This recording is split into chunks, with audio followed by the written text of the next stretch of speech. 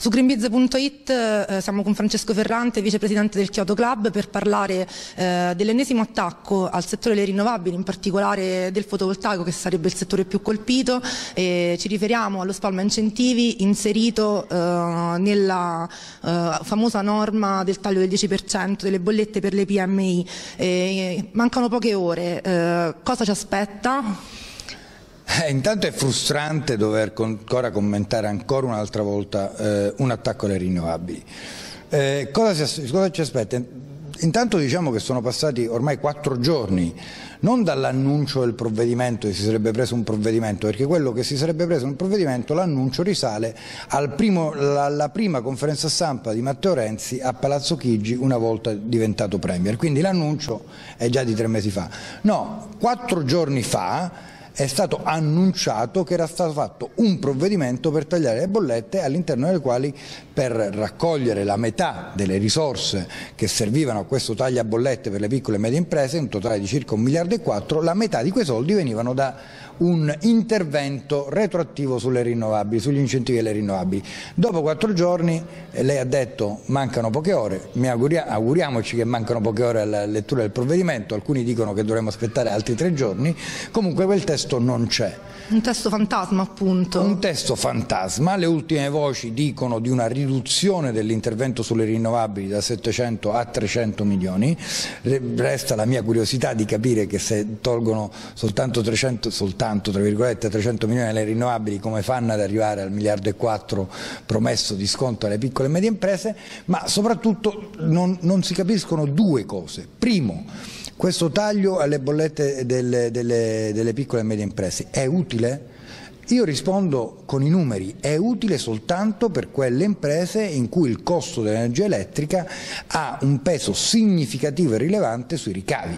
Ora, siccome il, soltanto il 3% delle nostre piccole e medie imprese ha un, un, un, peso rilevante oltre il 3% dei ricavi, onestamente sarebbe stato più interessante e intelligente fare dei provvedimenti, gli strumenti già esistono a livello italiano e europeo, per favorire coloro che appunto devono sostenere un peso dell'elettricità troppo alto rispetto ai loro ricavi, quindi con classi di consumo su ben determinati settori. Si poteva fare semplicemente senza inventarsi tutto questo eh, ambaradan. E l'altra è ancora sulle rinnovabili.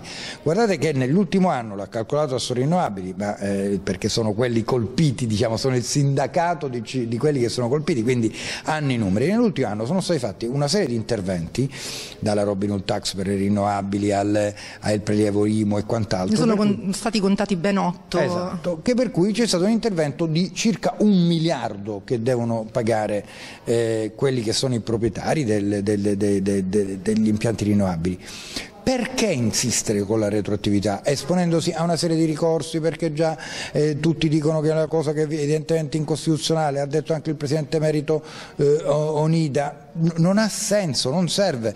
È vero che ci sono stati degli speculatori che hanno utilizzato incentivi che per un periodo sono stati troppo alti, ma quegli speculatori sono già andati via, sono già scappati, non li prendi più, i buoi sono ormai usciti dalle stalle.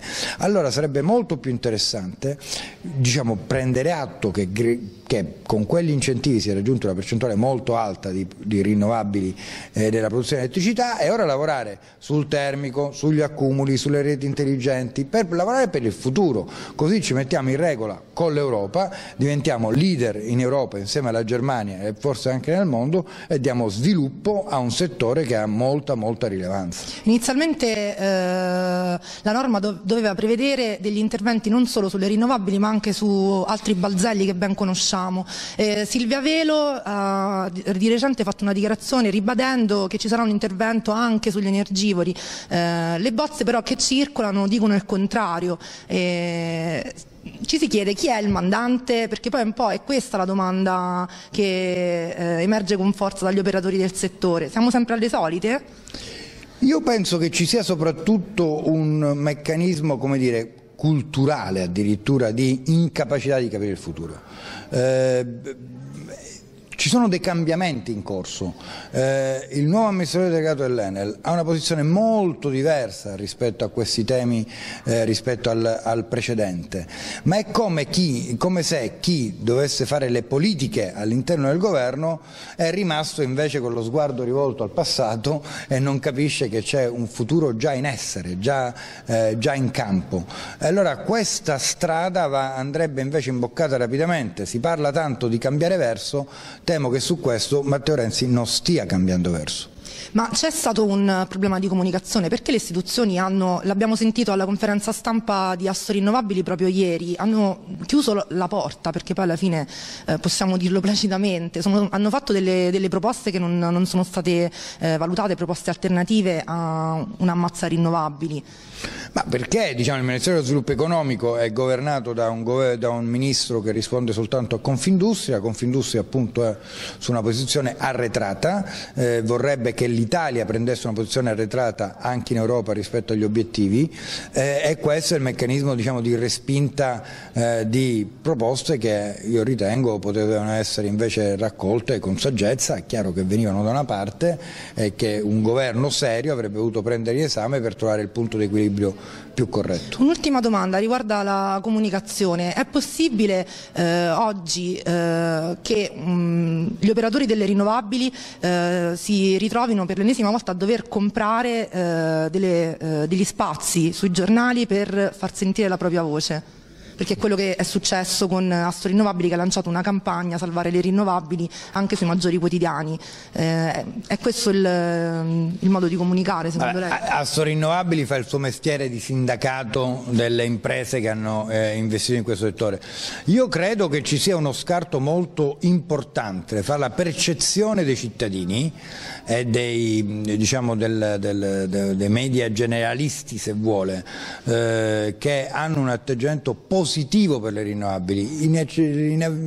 è evidente che un'energia pulita, eh, diffusa, non può che avere una percezione positiva da parte del cittadino e poi invece una differenza molto forte sulle pagine economiche dei giornali che sono in mano diciamo, e che risentono di quei poteri antichi a cui facciamo prima riferimento che invece sono protagonisti della campagna mediatica contro le rinnovabili. Grazie Ferrante, per ora è tutto. Grazie.